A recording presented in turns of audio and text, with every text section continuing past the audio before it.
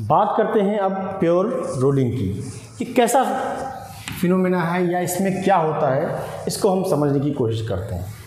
तो अगर हम कोई एक रोटेटिंग बॉडी लें और उसको ज़मीन में फेंक दें, सिर्फ़ और सिर्फ़ एक ट्रांसलेशन वेलोसिटी देकर अगर हम मैं ज़मीन पर उसे फेंक दूँ तो हम एक्सपीरियंस करेंगे कि वो बॉडी सीधे ज़मीन पे घिसटते हुए नहीं चलती है। वो ज़मीन पे गिरने के बाद थोड़ी देर में रोटेट करते हुए जाती है। ऐसा कोई फिनोमेना हमने नहीं देखा होगा जनरल लाइफ में कि हम किसी गोल या किसी रोटेटिंग बॉडी को हम ज़मीन में फेंकें और वो रोटेट ना करें, वो सीधे चली जाए। इमेजिन ही नहीं होता है, काफ़ी रेयर है। तो होता क्या है? हमने तो उसे ट्रांसलेशन वेलोसिटी दी है। हमने उसे आगे की तरफ़ मूव करने की वेलोसिटी दी, लेकिन वो तो रोटेट करने लगा। हमने कोई इस पर टॉर्क तो लगाया नहीं। तो क्या होता है? क्यों ये मूव करने लगता है? उसी चीज़ को हम समझते हैं। तो जब हम इसको मान लो कि हमने किसी सरफेस पे से फेंका तो अगर वो सरफेस रफ है, अगर वो सरफेस रफ है तो वो रफ सरफेस उस पर कुछ फ्रिक्शन लगाएगा। उस पर कुछ फ्रिक्शन लगाएगा। और अगर ये वेलोसिटी v के साथ मूव कर रहा है, अगर ये वेलोसिटी v के साथ मूव कर रहा है तो इसकी वेलोसिटी को वो डिक्रीज़ करेगा और इस पॉइंट ऑफ़ कांटेक्ट वेलोसिटी को डिक्रीज़ करते करते वो इसको ज़ीरो पर ला देगा। ये वेलोसिटी जो है पॉइंट ऑफ़ कांटेक्ट की velocity in the end zero हो जाएगी। अब होगा क्या? जब फ्रिक्शन इधर लगेगा तो ये बॉडी कुछ इस तरफ़ ऐसे उमेगा के साथ रोटेट करना शुरू करेगी। जैसे जैसे बॉडी आगे बढ़ेगी वी कम होता जाएगा ओमेगा बढ़ता जाएगा। ओमेगा बढ़ता जाएगा तो इस पॉइंट पर एक टाइम आएगा जब मान लो कि पहले तो इसकी वेलोसिटी वी नॉट थी, बाद में इसकी वेलोसिटी घटकर वी हो गई। तो जब इसकी वेलोसिटी घटकर वी हो गई तो यहाँ पर इस फ्रिक्शन के कारण इस पॉइंट ऑफ़ कांटेक्ट की वेलोसिटी एक समय पे जाकर ज़ीरो हो जाएगी और उस समय हम कहेंगे कि ये जो वी है, ये आर ओमेगा यानी कि इस यहाँ पर जो वेलोसिटी लगेगी आर ओमेगा और इस तरफ़ जिससे ये मूव कर रहा है, ये वी होगी। जब ये घटकर वी वी वी नॉट से घटकर वी हो जाएगी तो यहाँ पर पॉइंट ऑफ़ कांटेक्ट की वेलोसिटी जब ज़ीरो हो जाएगी, तब हम कहेंगे कि वो सिचुएशन प्योर रोलिंग का है। रिपीट करता हूँ, यहाँ पर धीरे धीरे इस पॉइंट की वेलोसिटी फ्रिक्शन के कारण डिक्रीज़ करेगी। यहाँ पर फ्रिक्शनल फोर्स लग रहा है और ये पूरी बॉडी ओमेगा के साथ रोटेट करना शुरू होगी। ये ओमेगा बढ़ता जाएगा और ये कम होता जाएगा। एंड में मान लेते हैं, अगर ये पहले ओमेगा नॉट ही रहा हो शुरू में शुरू में ओमेगा नॉट रहा हो ओमेगा बढ़ेगा वी घटेगा ओमेगा बढ़ेगा वी घटेगा ओमेगा बढ़ेगा वी घटेगा। तो जब ये ओमेगा ओमेगा नॉट बढ़ेगा वी नॉट घटेगा, घटते घटते मान लो कि इसकी एंगुलर स्पीड ओमेगा हो गई बढ़कर और घटकर ये वी नॉट से वी पे पहुँच गया।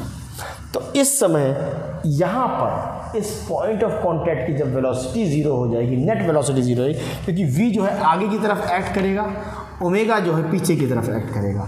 वी जो है आगे की तरफ़ एक्ट करेगा, ओमेगा जो है पीछे की तरफ़ एक्ट करेगा। तो net velocity point of contact की अगर मैं इसका नाम दूँ पॉइंट ऑफ़ कॉन्टैक्ट पी यहाँ पे इसका नाम दिया पी तो when the velocity of point of contact become zero we can say that the body has come into pure तो इस, जब वेलोसिटी पॉइंट ऑफ़ कांटेक्ट की ज़ीरो होगी we can say that the body is in pure rolling तो इसका मतलब क्या हुआ?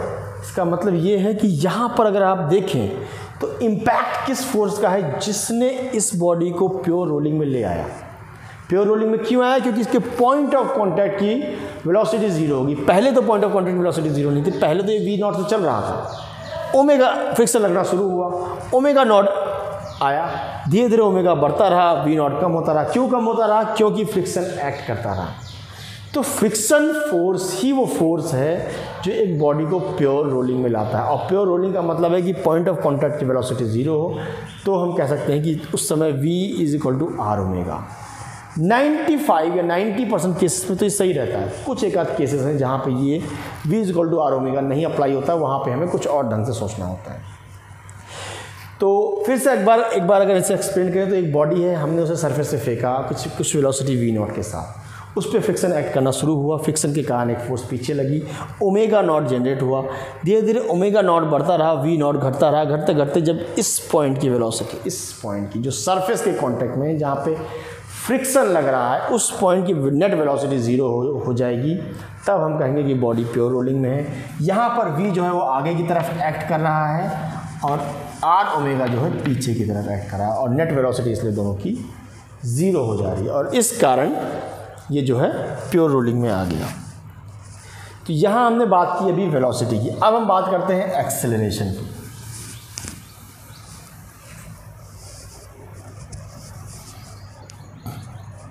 अब हम बात करते हैं एक्सेलरेशन की।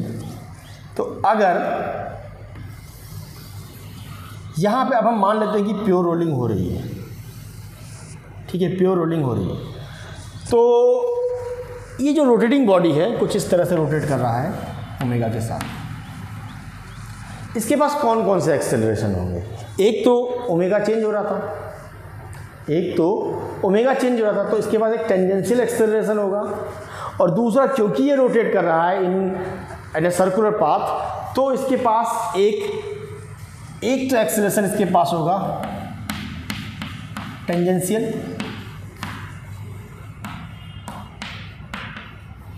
दूसरा इस, इसके पास एक एक्सेलरेशन होगा सेंट्रीपिटल इसके सर्कुलर पाथ में रोटेट करने के कारण. और तीसरा ये जो v वेलोसिटी से चल रहा है उसके कारण भी एक एक्सेलरेशन होगा. ठीक है? तो ये तीन एक्सेलरेशन तो है. अब क्वेश्चन आता है कि इसकी कंडीशन क्या है? तो कंडीशन ये है कि पॉइंट ऑफ़ कांटेक्ट कांटेक्ट पे। नेट टेंजेंशियल एक्सेलरेशन या टोटल एक्सेलरेशन जो टेंजेंशियल एक्सेलरेशन टेंजेंशियल मतलब इसके टेंजेंट पे जो लग रहे हैं तो अगर मैं वी के कारण एक्सेलरेशन कोई प्रोड्यूस होगा तो आगे की तरफ़ जाएगा, ये ए लगेगा यहाँ पर। और यहाँ पर ये ए टी लगेगा। वी के कारण यहाँ पे तो यहाँ पे जो ये एक्सेलेशन होगा, इस एक्सेलेशन की वैल्यू जो होती है ठीक है, इस एक्सेलेशन की वैल्यू होती है, वो होती है आर एल्फा और ये ए तो नेट टेंजेंशियल एक्सेलेशन ज़ीरो होना चाहिए पॉइंट ऑफ़ कॉन्टैक्ट का, अगर बॉडी प्योर रोलिंग है। मैंने ये नहीं कहा कि टोटल एक्सेलेशन ज़ीरो होना चाहिए। नेट टेंजेंशियल एक्सेलेशन का ज़ीरो होना चाहिए, अगर बॉडी को प्योर रोलिंग में लाना है तो। तो क्या मतलब कि टोटल एक्सेलेशन ज़ीरो नहीं होगा? यस टोटल एक्सेलेशन ज़ीरो नहीं होगा। तो कौन सा एक्सेलेशन यहाँ एक्ट करेगा? यहाँ पर जो एक्ट करेगा, वो करेगा सेंट्रीपीटल एक्सेलरेशन ये x a is equal to r alpha तो रहेगा ही, पर सेंट्रीपीटल एक्सेलरेशन हमेशा एक्ट करेगा, क्योंकि इस पर इसकी तो नेट वेलोसिटी ज़ीरो है तो फिर ये आगे कैसे बढ़ रहा है? क्वेश्चन तो यही है ना, ये आगे कैसे बढ़ रहा है जब यहाँ पे नेट फिलोसिटी ज़ीरो है? तो ये जो पॉइंट है, इस एक्सेलेशन के कारण ऊपर उठेगा, फिर दूसरा पॉइंट आएगा, उसकी वेलोसिटी ज़ीरो होगी, वो इस एक्सेलेशन के कारण ऊपर उठेगा, फिर तीसरा पॉइंट आएगा, उसकी वेलोसिटी भी ज़ीरो हो जाएगी, लेकिन वो इस एक्सेलेशन के कारण ऊपर उठ जाएगा। तो ऊपर उठने की प्रक्रिया जो है, कौन हेल्प करता है? वो करता है सेंट्रीपिटल एक्सेलेशन यही वो एक्सेलेशन जिसके कारण बॉडी मूव कर पाती है। तो ऊपर की तरफ़ उठता है। बाकी यहाँ पे टेंजेंशियल एक्सलेशन ज़ीरो होगा सेंट्रीपिटल एक्सलेशन ज़ीरो नहीं होगा और जिसके कारण ये बॉडी मूव कर पाएगी। तो यहाँ पे हमें ये ध्यान रखना या फिर हम ये कह सकते हैं कि alpha is equal to a by r भी कह सकते हैं। So a is the acceleration due to translation motion r alpha is the acceleration due to rotational motion and these should be equal to put the, to bring the body in the pure rolling. So, the body is in pure rolling and that's why it is having a zero velocity at the point of contact. तो यहाँ पे हमने ये चीज़ें discuss कर ली। अब हम आगे बढ़ते हैं और समझते हैं क्वेश्चन से कि कैसे अप्लाई की जाती है प्योर रोलिंग तो कुछ क्वेश्चन को देखते हैं। एक, एक जेई का क्वेश्चन है।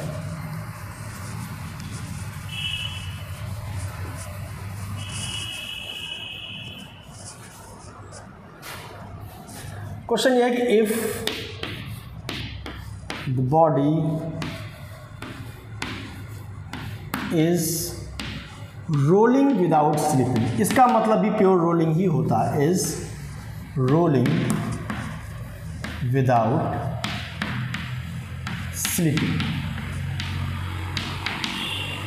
if the body is rolling without slipping तो उस कंडीशन में क्या होगा? ये एक बॉडी है। ठीक है, ये है पॉइंट सी ये है पॉइंट बी और यहाँ पे जो कांटेक्ट वाला पॉइंट है, ये है पॉइंट ए ठीक है?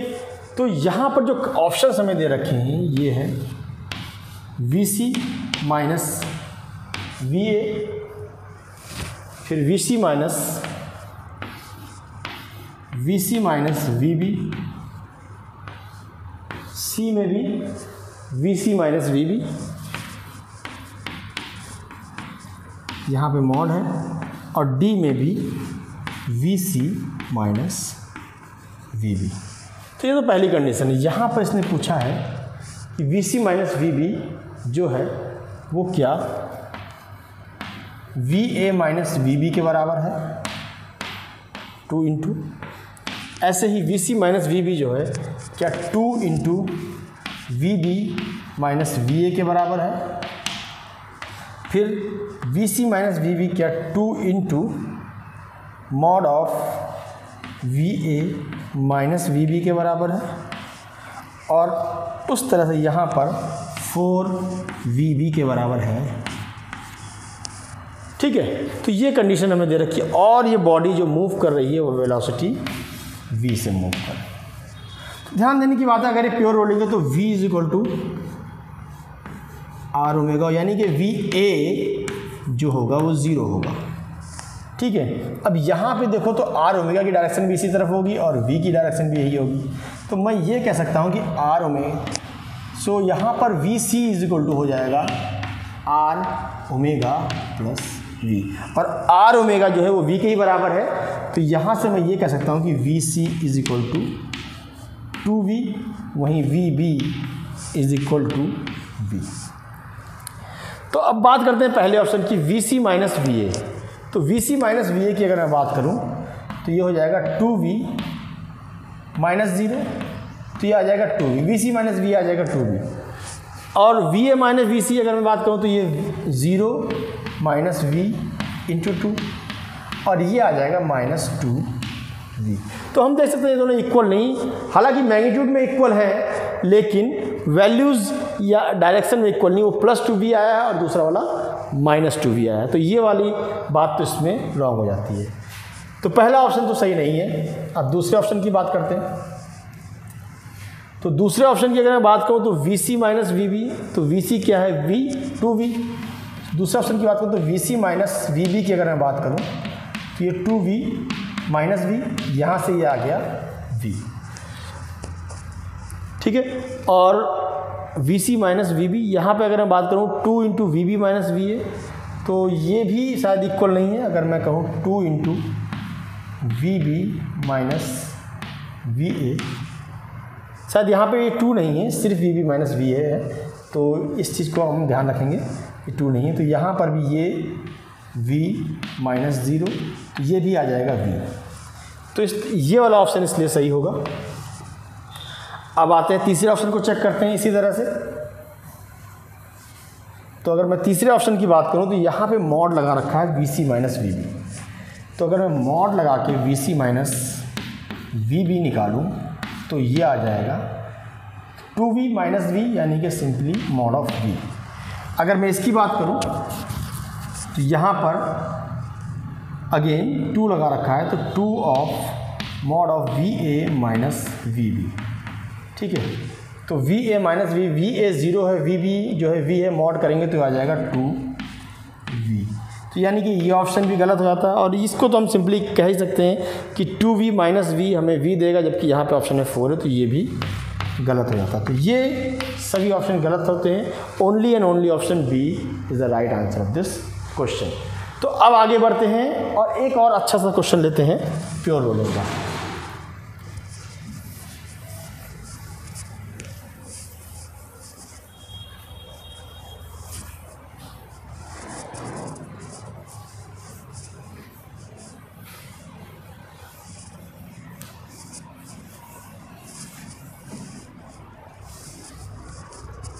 ठीक है? तो क्वेश्चन कुछ ऐसा है कि मान लेते हैं कोई एक डिस्क है, और हमने इसे ज़मीन पे फेंक दी, और इसको वेलोसिटी हमने दे दी वी नॉट की। ठीक है, शुरुआत में। अब जैसे ही हमने इसे ज़मीन पे फेंका फ्रिक्शन एक्ट करना शुरू हुआ। और एक्ट करते करते फ्रिक्शन इसको प्योर रोलिंग में ले आया। तो हमें बताना है कि जब ये प्योर रोलिंग में आता है तो उसकी वेलोसिटी वी कितनी होगी in terms of V naught ठीक है? तो प्योर रोलिंग में आ गया अब इसकी वेलोसिटी वी होगी अब इसका रेडियस आर है। तो समझते हैं कि इस क्वेश्चन को हम सॉल्व कैसे करेंगे। ठीक है? एक अच्छा क्वेश्चन है। तो ये आगे की तरफ़ जा रहा है। फ्रिक्शन इस पर पीछे की तरफ़ ऐसे एक्ट करेगा। ठीक है? तो फ्रिक्शन ये आगे की तरफ़ जा रहा है। फ्रिक्शन पीछे की तरफ़ एक्ट करेगा। तो friction force will be equal to minus mu M G अगर मैं इसका मास एम कह दूँ, ये एक डिस्क है, इसका ध्यान रखना है, ये एक डिस्क है। ठीक है? तो ये हो गया। अब फ्रिक्शन फोर्स ही इसको एक्सेलेशन दे रहा है तो M A is equal to minus mu M G और एम से एम कैंसिल हो जाएगा तो ए इज़ इक्वल टू आ जाएगा म्यू इंटू जी ठीक है? अब हम फ़र्स्ट इक्वेशन ऑफ़ मोशन लगाएँगे। तो फाइनल वेलोसिटी वी हो गई है। इनिशियल वेलोसिटी वी नॉट है। तो मैं ये कह सकता हूँ V is equal to V naught plus A और हम कहते हैं कि इसने यहाँ से यहाँ तक वी नॉट से वी तक जाने के लिए जो टाइम लिया, वो टी लिया। तो वो हो गया टी तो यहाँ से v is equal to V naught. और एक्सलेशन की वैल्यू अगर हम पुट कर देंगे तो ये mu into G into T हो जाएगा। इसको कहते हैं हम इक्वेशन वन इसको कह लेते हैं इक्वेशन टू अब आगे बढ़ते हैं। अब क्या है कि अभी तक हमने जो इक्वेशन लगाई, वो ट्रांसलेशन की लगाई। अब रोटेशन की लगाते हैं। तो टॉर्क प्रोड्यूस होगा। टॉर्क प्रोड्यूस होगा तो उसका एक्सेलेशन होगा आई अल्फ़ा ठीक है? अब टॉर्क प्रोड्यूस क्यों कौन कर रहा है? फ्रिक्शनल फोर्स तो फ्रिक्शनल फोर्स ही टॉर्क प्रोड्यूस कर रहा है इनटू परपेंडिकुलर डिस्टेंस तो ये हो गया एफ़ आर और यहाँ से अगर मैं इसकी वैल्यू लिखूँ फॉर डिस्क आई की value so M R square by moment of inertia जो डिस्क का होता है वो M R square by two है। अब फ्रिक्शन फोर्स की वैल्यू क्या है? Mu into M into G into R ये हो गया M R square by two into alpha ठीक है? आर से आर कट गया एम से एम कट गया।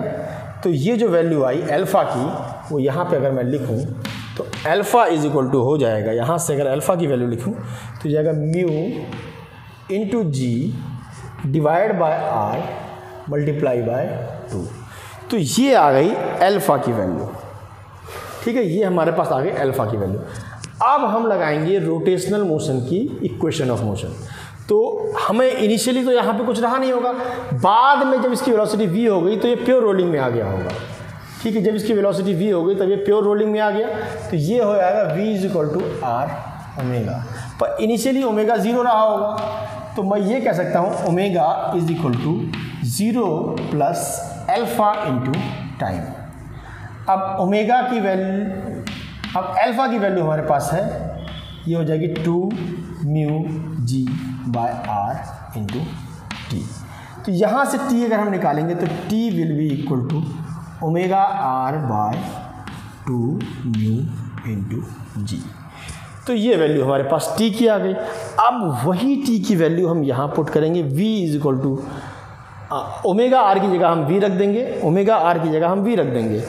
तो अगर मैं वो वैल्यू यहाँ पुट करूँ तो v will be equal to यहाँ पे v naught minus mu into G into omega R की जगह अगर मैं v रख दूँ अपॉन म्यू जी और ये टू म्यू जी है तो म्यू जी से म्यू जी कैंसिल हो जाएगा।